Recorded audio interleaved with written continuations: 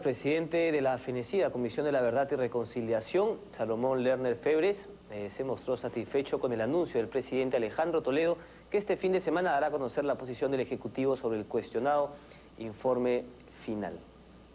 El esperado pronunciamiento presidencial sobre el informe final de la Comisión de la Verdad y Reconciliación por fin tiene fecha. El presidente Alejandro Toledo escogió este viernes como el día en que luego de una muy larga espera dará la posición del gobierno sobre los resultados de una investigación que llevó a los comisionados a determinar que las víctimas de la violencia no superaban las 20.000, sino que en realidad bordeaban las 65.000 personas, en una tarea que trajo adhesiones, pero también una ola de críticas, especialmente de las Fuerzas Armadas. Salomón Lerner Febres, presidente de dicha comisión, se mostró satisfecho de que pese a la demora esté a punto de darse un pronunciamiento oficial. Hecho que dijo puede servir para que organismos internacionales apoyen el tema de las reparaciones a los familiares de las víctimas.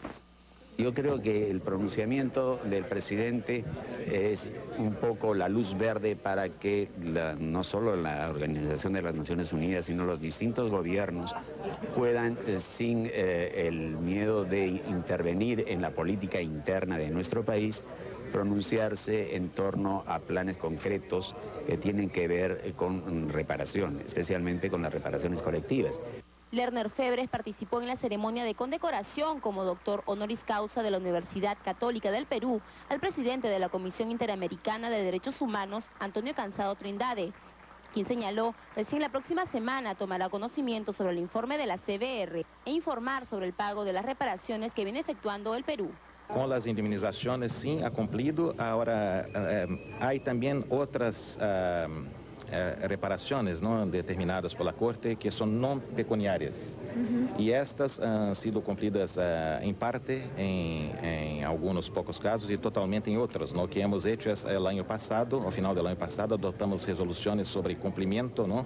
gradual de las uh, sentencias de la Corte y esperamos ¿no? que en el futuro próximo lo que eh, resta por uh, cumplir, me refiero a reparaciones no pecuniarias, ¿no?